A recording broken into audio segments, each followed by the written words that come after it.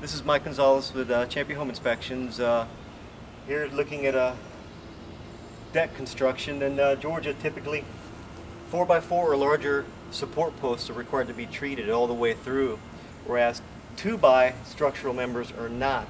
The importance of that is that if you have wood to ground contact 2x material will be conducive to decay and termite entry.